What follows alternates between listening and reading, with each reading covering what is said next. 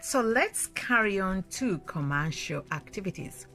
Most aspects of life in Tunisia have been monetized.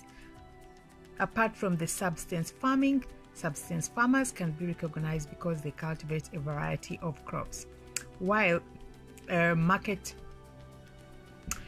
while uh, market-owned uh, oriented farmers concentrate on a few. Most Tunisian farmers expect to sell their crops and buy their need and buy uh, to sell their crops and buy their needs. The same applies to craftsmen and other occupations. Rural Tunisia is covered by an interlocking network of weekly markets that produce basic consumption goods to the rural population and serve as collecting points for animals and other produce among uh, and other produce. Among the very poor in Tunisia are self-employed street vendors, market traders, and others in the low levels of the informal sector. Let's check out the major industries. The national government, after independence, continued to develop phosphate and other mines and to develop uh, processing factories near the mines all along the coast. There are some there is some oil in the far south and in the center. Efforts to develop heavy machinery such as steel and shipbuilding are limited. More recently, light industry uh, has expanded in the clothing, household goods, food processing, and diamond cutting sectors. Some of this is done in custom free zones for the export to Europe.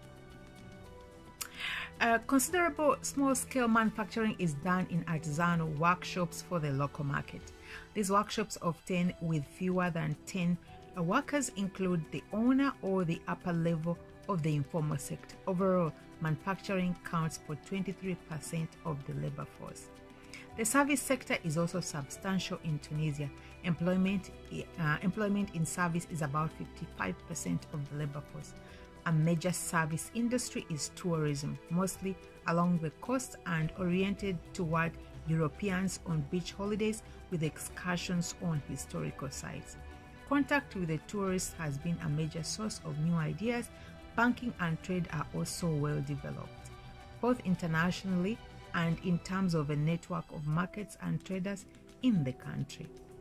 Let's check out the trade. Export includes light industry products and agriculture products such as wheat, cypress, and olive oil. Imports include a variety of consumer goods and machinery for industry. Let's check out the division of labor. The National Division of Labor uh, reflects education and gender. There are many relative, relatively complex jobs whether for the government or not, that require a specific educational skills and background. Thus, the education system provides a major input into the division of labor. Many Tunisian men and some families now live and work abroad. This began with migration to France in the early 20th century.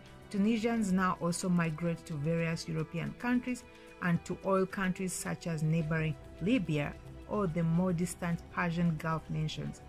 Remittances and other forms of investment at their homes are significant and, are and returned migrants play a role in many communities. Since many men from the marginal agricultural areas have migrated in search of work, agricultural labor has been feminized. Uh, intellectual and professional Tunisians also migrate, but the path are more individual. Let's check out the social stratification. Classes and castes. Tunisian society is marked by class distinctions with considerable upward mob mobility and fuzzy class awareness. Class distinctions based on wealth are the most apparent, uh, with enormous with enormous differences between the wealthy bourgeoisie living in the fluent suburbs of Tunisia and the rural and urban poor. Wealth in one generation leads to improved education in the next status through ancestry is relatively unimportant. As symbols of social stratification are basically in style and level of consumption. Political life. The government. Tunisia is a republic headed by the president. There is a prime minister, a council of ministers, and elected national assembly. Local administration works through officials appointed by the minister of interior. Urban areas organized in municipalities also have a town council. Let's check out the leadership and political officials. The political party that took the lead in the national movement in the nationalist movement from 1934 to 1956 has essentially been a single party since independence in 1956. The party was initially known as the Neo Destour Party. Then in the 1960s was called the Destour Socialist Party. And since the deposition of the Guiber in 1987 is named the Democratic Constitution Rally. The word that has remained in its name is constitution, destour in Arabic, which implies a concern with legality. This party has historically been relevant, well structured, with active local branches organized in rational hierarchy. There is a rare structure for women.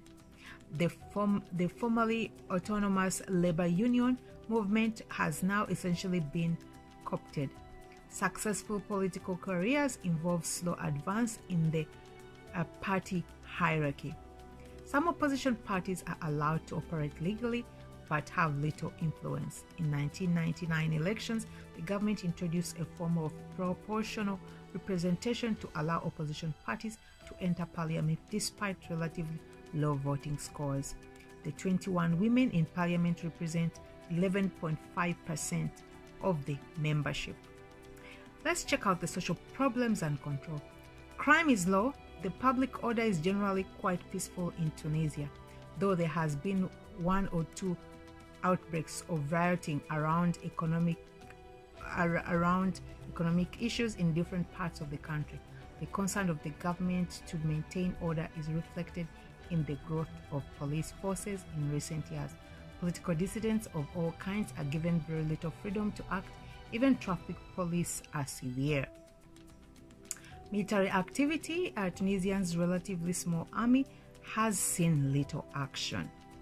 Let's check out the social welfare and change programs. Part of the contract between government and people is that government officials take the lead in promoting welfare and development. These programs are done either with foreign bil- bilateral assistance or through government's own resources.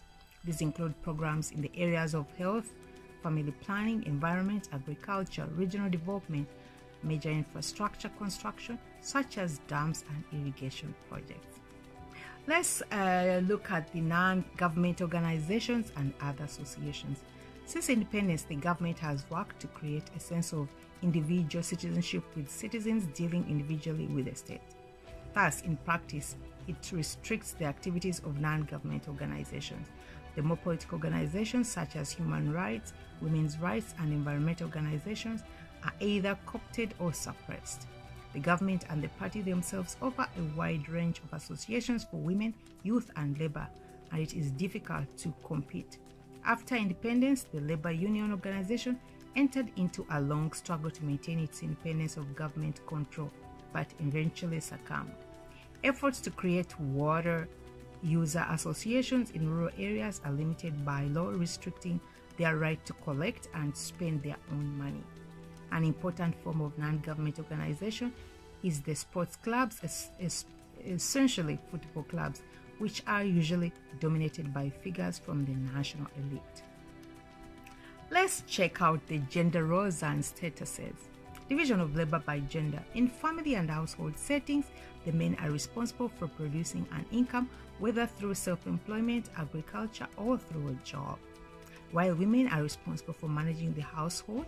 In agricultural households, this may include transforming the raw materials of agriculture into useful items such as spinning and weaving wool from family sheep, preparing the wheat into couscous or preserving fruit and vegetables.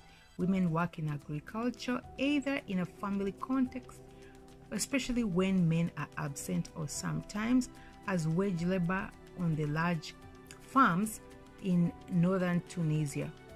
Women who work for wages in agriculture are paid about half the rate for men.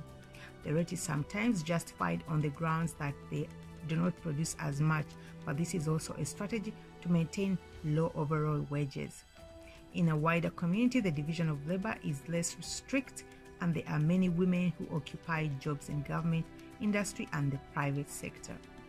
In the late 1990s, women were 36% of professional and technical workers and 13% of administrators and managers.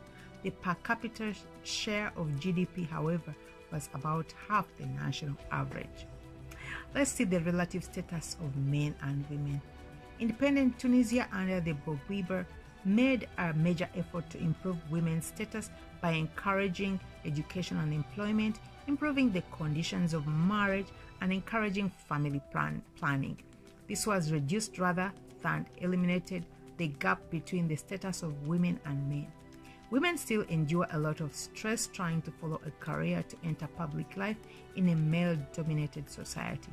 Some men resent the formal employment of women when unemployment of educated men remains high and also scorn the idea of women in public life. Let's look at marriage, family, and kinship. Marriage. The choice of marriage partners may be by arrangement between families or a result of individuals selected based on acquaintances made at school or work. There is a, some preference for cousins in part because cousins are considered to be equal status. Girls are not supposed to marry beneath them. Mothers search for brides for their sons, and many scrutinize possible candidates during the women's periods in the public baths. Once an engagement is settled on, there is a complex series of visits between the two families. Sometimes disputes over gifts or ethic leads to a collapse of the engagement. Or one of the other one or the other of the partners may back out. The marriage ceremony itself involves the shift, shift of the bride from her house to her groom's house, while the groom waits outside so that he may enter into the bridal chamber where she is waiting. After the consummation of the marriage, there is a period of seclusion until the young couple re enters society.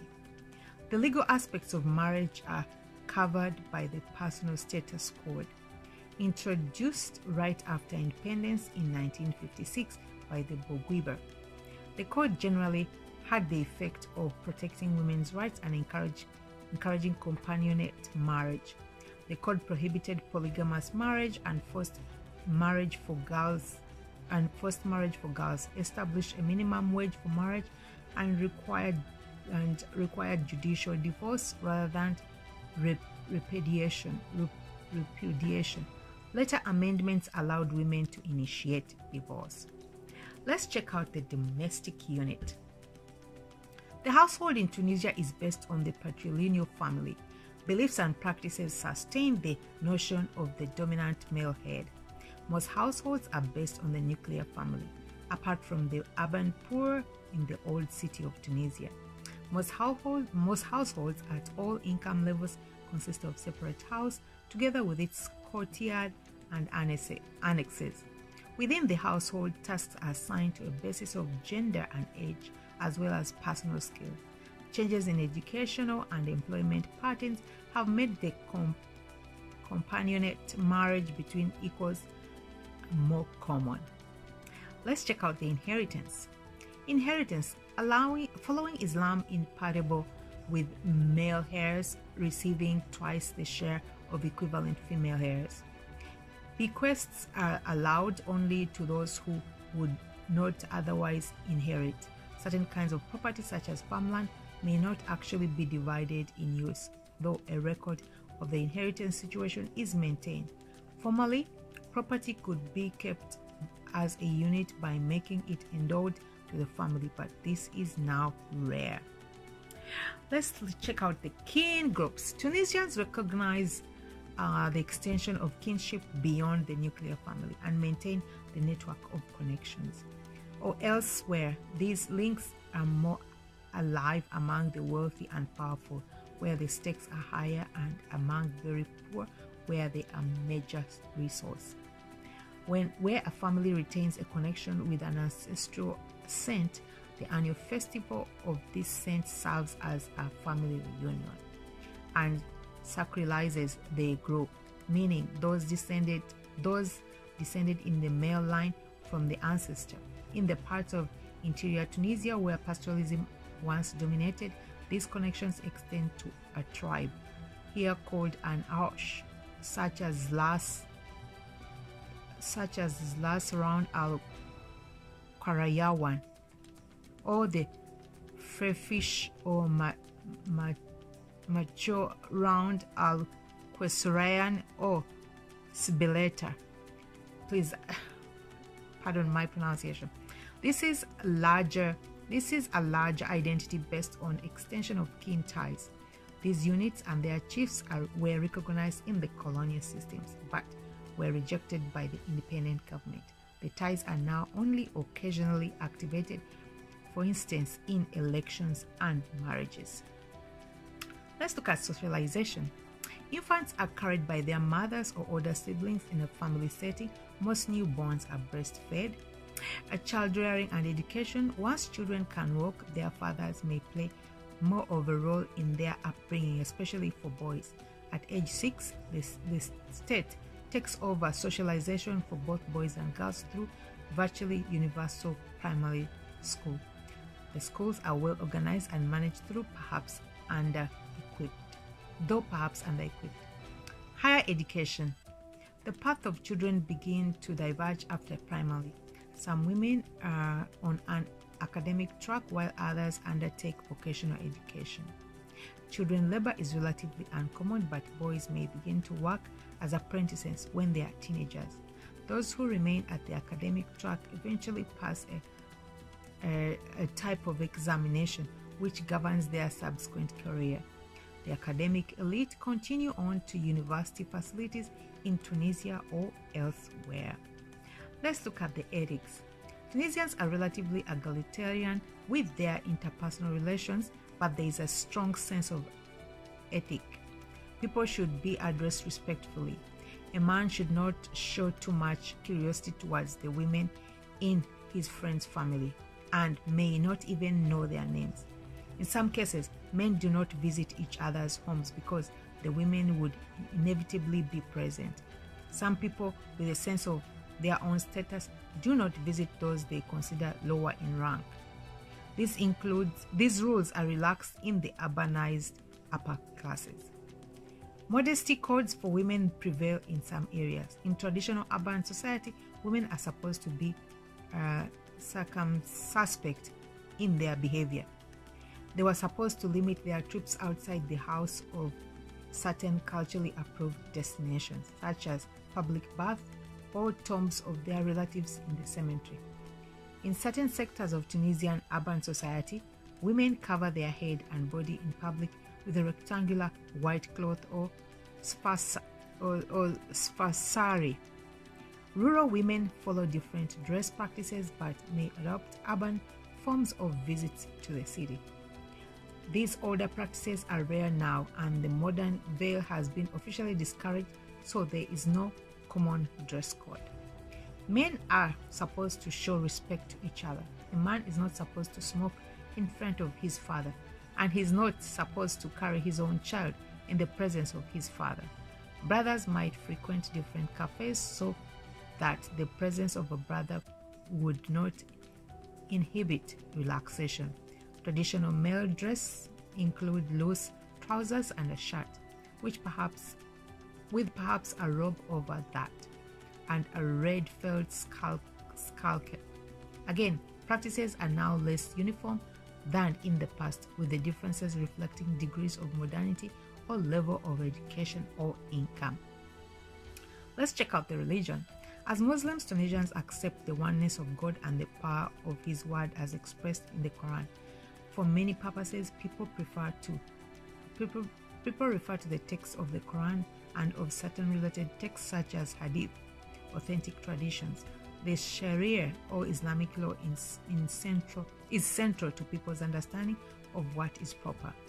Together, these texts lay down correct behavior and lead to certain everyday rituals. In practice, there is a certain amount of variation in belief and practice.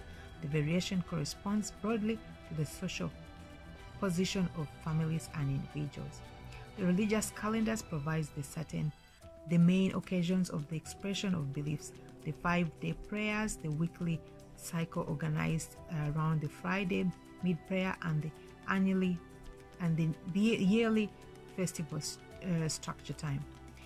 Uh, the annual cycle includes the fasting of the Ramadan. There is also a feast of sacrifice, which coincides with the annual pilgrimage to the holy places of Mecca and Medina.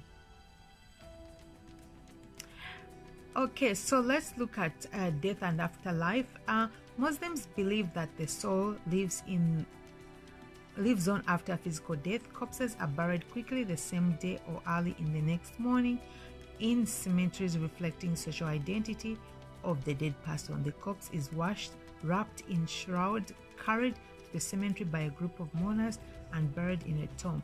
The body is laid on on its left side facing Mecca. These are periodic commemorations of the dead. After seven or forty days, and sometimes after a year, survivors also make visits to the tomb, men and women separately and leave offerings to the soul of the dead. Medicine Tunisia has a modern system of health with the hospitals and clinics well, well distributed in the country. In addition, there are private doctors and hospitals. The University of Tunis has a medical school. Some doctors in the capital have forced associations to promote public health awareness and notably around the question of preventing pollution. Traditional healers include bone setters, dream interpreters, herbalists, and other specialists. Tunisians also often seek mystical healing in religious contexts. Modern alternative medicines, including acupuncture, is also found in cities.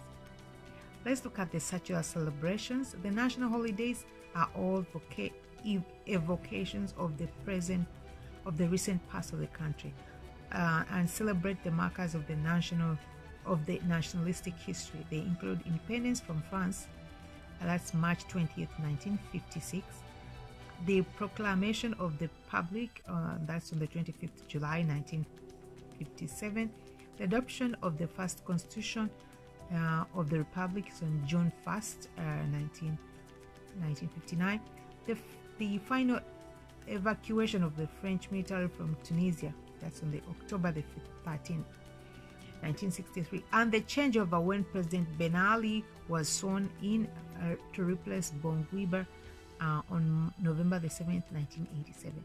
These days are, general, are generally holidays from work. Let's see the art and amenities. Support for the arts. The government and some wealthy benefact- benefactors support the arts. The one way of doing so is through national or local festivals devoted to one form or another of music, poetry, folklore. These festivals include competitions with prizes for the winner. Let's check out the literature. Uh, Tunisia has produced some fine writers, more in Arabic than, than French. Graphic arts, paintings, mosaic, and murals by Tunisian artists are commonly seen. Uh, performing arts, music plays a major role in the everyday life in Tunisia, and many people are amateur musicians who perform in a circle of friends and neighbors. Professional performers appear in restaurants, nightclubs, as well as festivals. Tunisian drama is especially known for, known for experimental theater as well as for classical plays. Tunisian filmmakers established a collective reputation for solid films, many of which deal with an with a coming of age in the recent historic past. So they are both psychological dramas and recreations of the national narrative. Status of physical and social sciences.